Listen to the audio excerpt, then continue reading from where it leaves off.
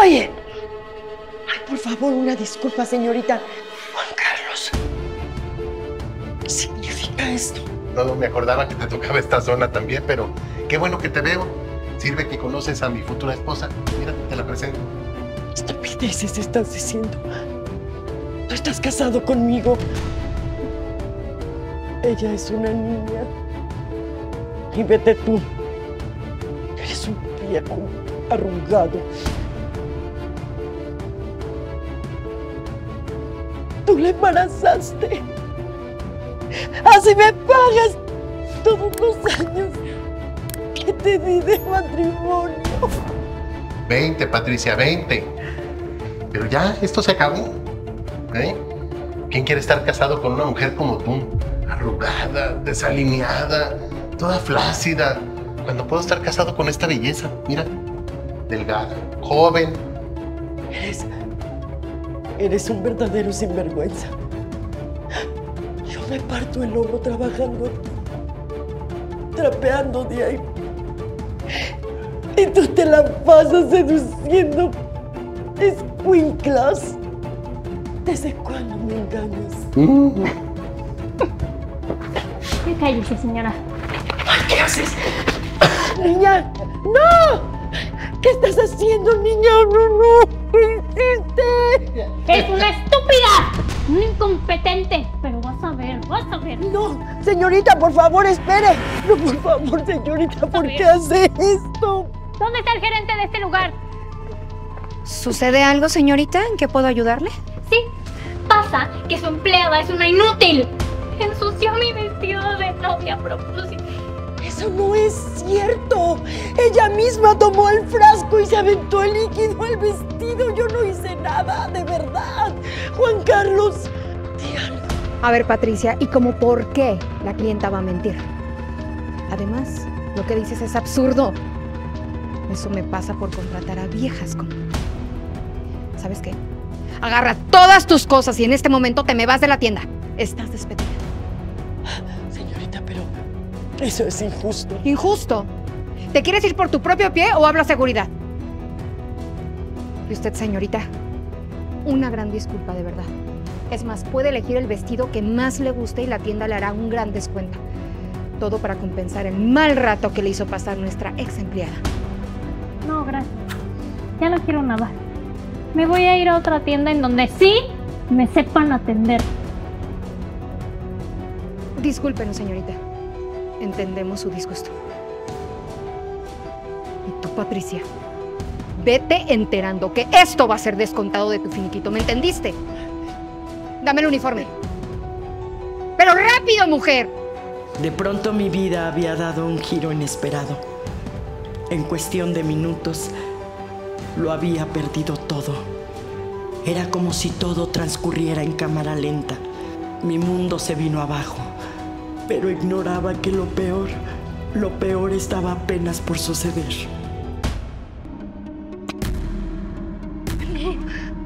Juan Carlos, ¿qué haces con mis cosas? ¿Eres tonta o qué? Te estoy echando de la casa. Vámonos. Yo no te quiero aquí. Es el colmo. No hay palabras para describir lo miserable que eres como ser humano. Ya, vete, por favor. No, no, no, por favor, Juan Carlos. No me puedes hacer esto. Yo soy tu esposa. Tenemos más de 20 años juntos. Y ahora por culpa de tu amante me quedo desamparada. No tengo empleo. ¿A dónde crees que voy a ir? Mira, ya llegó tu taxi. Ándale, ven. No. Ya, hombre, ya. Juan Carlos, no por hagas el favor. ridículo, hombre. No, Carlos, no hagas esto. ándale, ándale. No hagas el ridículo. No te quiero volver a ver nunca. Nunca entiéndelo. Dale, ya.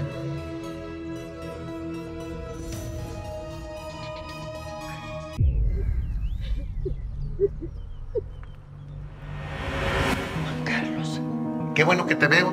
Sirve que conoces a mi futura esposa. Mira, te la presento. Tú estás casado conmigo. Ella es una niña. Tome los que necesite. Gracias. Te lo agradezco. Oiga, señora, pero no me ha dicho a dónde la tengo que llevar. No sé, no sé. sé, no sé a dónde ir, no tengo dónde pasar la noche. Tranquilícese. Si quiere, puede contarme todo. ya sabe que los taxistas tenemos fama de escuchar a todo el mundo. Mi marido se va a casar con una mujer que podría ser su hija. Y para colmo está embarazada de él. No es posible que me eche a la calle como si fuera un perro. Y no tengo a dónde ir, no tengo dónde pasar la noche.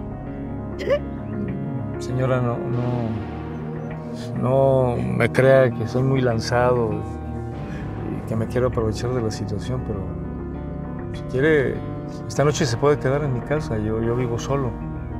Tómelo como una ayuda. Pero no sé, no lo conozco, es más, ni siquiera sé su nombre.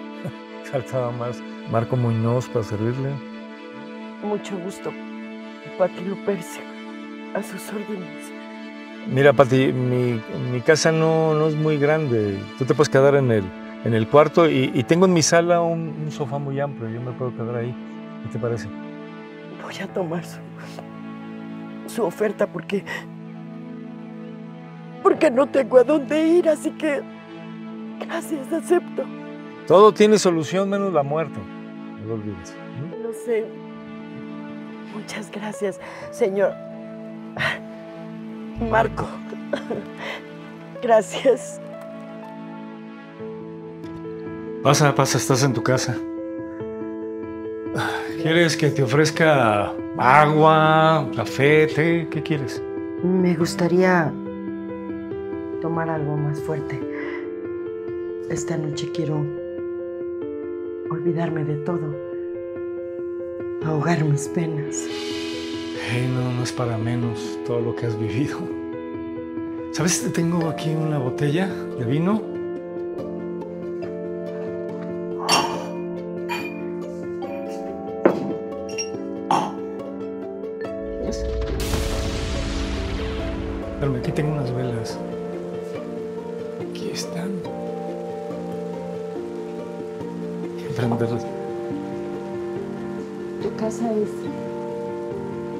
Es pequeña, pero.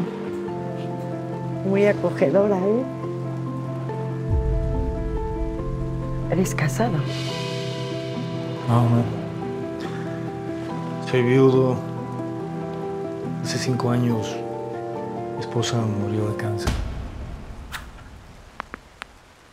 Perdón, de verdad lo siento. Ah, no te preocupes. ¿Tienes hijos? No, íbamos a tener un niño, pero lo perdimos. ¿Y tú? Yo sí. Tengo uno, sí. Él vive en otra ciudad, es un gran médico. Es mi gran orgullo. Si él supiera por todo lo que estoy pasando. ¿Qué piensas decirse? No, no, yo no tengo derecho a frustrarlo o a preocuparlo, no. Él ya hizo su vida. Y yo tengo que ver la forma de cómo voy a salir adelante sola. Gracias.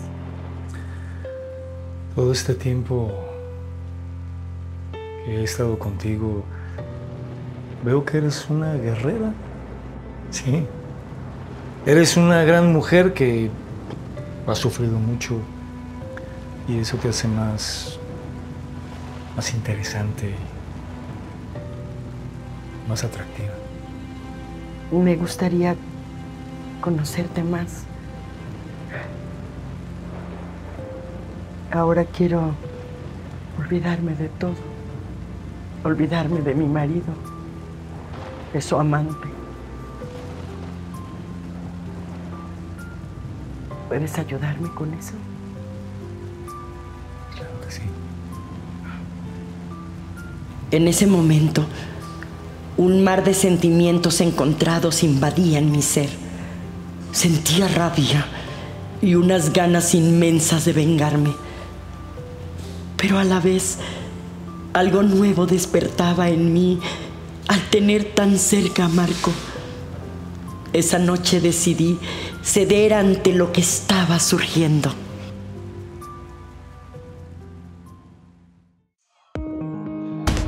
Adriana, ¿qué pasa aquí? ¿Quién es este tipo?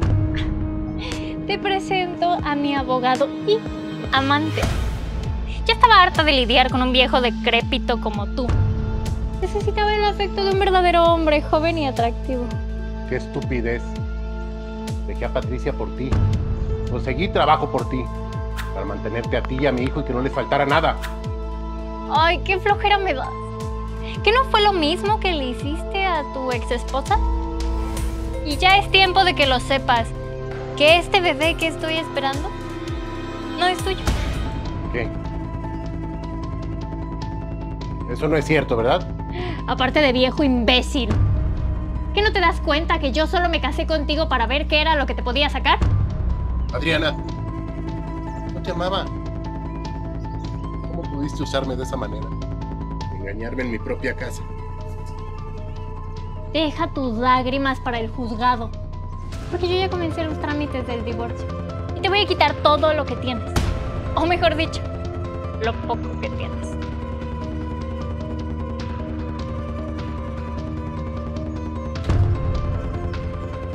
Déjame pasar, es mi casa. Esta era tu casa. Y no te molestes en regresar porque ya cambié la chapa. ¿Sabías que estar casado con dos mujeres es un delito? Estás en serios problemas, amorcito. Yo te aviso cuando puedas regresar por tus porquerías. Adiós.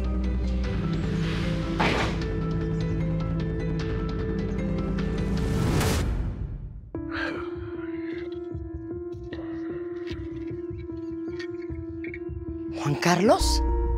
Pati. Mi Pati, mi Pati. A ver, Juan Carlos, por favor, no hagas eso. Vamos a sentarnos. eh. Ándale. Siéntate. Adriana me estuvo engañando todo el tiempo. Desde un principio. ¿Sabes qué? Su hijo no es mío. Y todavía para acabarla, me va a demandar por lo poco que tengo. Que porque, ¿sabe qué ley? Que no sé qué, por no haberme divorciado y casado con ella antes. Es una lástima que hayas echado a la basura tantos años de matrimonio por una mujer como ella. Ay, mira, soy un idiota. Pero todavía podemos arreglar las cosas. Lo siento, Juan Carlos. Yo ya te lo dije. Yo ya rehice mi vida. ¿Cómo me puedes olvidar tan rápido? No puede ser tanto. Tú me amas. Ay, Juan Carlos. Yo ya te perdoné. A ti y a ella. Yo ya rehice mi vida. Y en mi vida nueva ya no hay lugar para ti. No, papi, tú me amas. Todavía podemos hacer- rehacer nuestra vida. ¿Entiendes? Ay. De verdad, Juan Carlos. Es una pena. Ahora te toca a ti lidiar con el dolor. Con el dolor que tú mismo provocaste. ah, Pati. Suerte. Oye, Adiós, Juan Carlos. No, Pati, no seas así,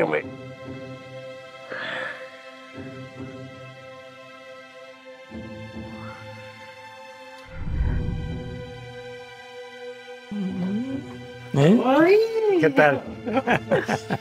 Ay, mi amor, huele delicioso. Claro. Muero de ganas de probar lo que estás haciendo. ¿Quién será? Yo abro. ¿Quién es? ¿Mi Carlos? ¿Pero qué haces aquí? ¿Cómo supiste dónde estaba yo? Eh, Patricia, eh, eh, sé que lo de nosotros no ha terminado y yo creo que todavía hay amor entre nosotros porque ¿Quién es, amor?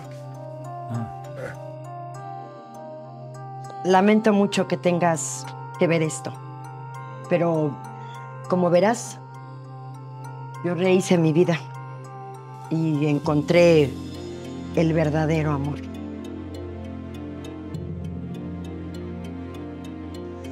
Este hombre, Este hombre es el taxista que me recogió cuando me echaste de tu casa como un perro. ¿Te acuerdas? ¿Quién diría que tú mismo pusiste en mi camino al hombre de mi vida? Pati, esto no puede estar pasando. Sí, pues está pasando, Juan Carlos. Y ahora te voy a pedir que no vuelvas nunca más a buscarme. Te vaya bien en tu vida nueva. Muchas veces nos acostumbramos tanto a la compañía y a la paciencia de un ser amado que damos por hecho que siempre estará ahí para nosotros, soportando en silencio cada golpe, cada herida provocada, restando valor al amor incondicional que nos brinda, hasta que un día todo cambia de un minuto a otro y muchas veces nos damos cuenta de ello cuando ya es demasiado tarde.